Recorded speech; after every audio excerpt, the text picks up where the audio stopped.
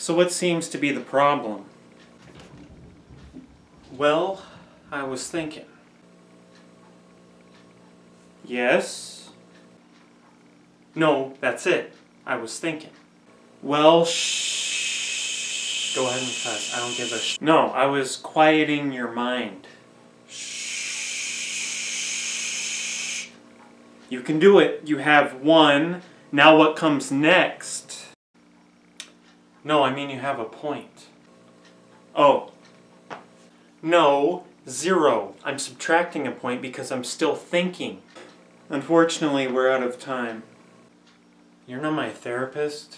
You're my friend. Right, I also just lost interest in your bullshit. Well, maybe I should tackle this problem alone. Without a friend. You're not my friend. Oh. Negative one. Okay.